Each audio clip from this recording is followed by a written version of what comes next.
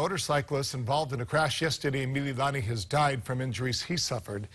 He's being identified as Brandon Bentenbaugh from Mililani. Police say the 22-year-old was speeding on Wikao Street when he lost control of the bike, hit a curb, and then hit a tree after being thrown off the motorcycle. Police brought Bentenbaugh, or they say he was not wearing a helmet.